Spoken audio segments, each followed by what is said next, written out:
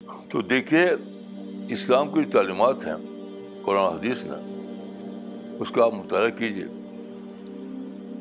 तो अगर कोई रसूल पर या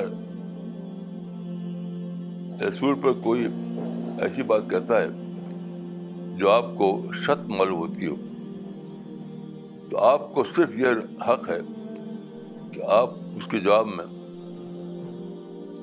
किताब लिखें आर्टिकल लिखें, उससे मिलकर उससे डिस्कस करें। बस, इससे ज़्यादा आपका कोई हक नहीं है।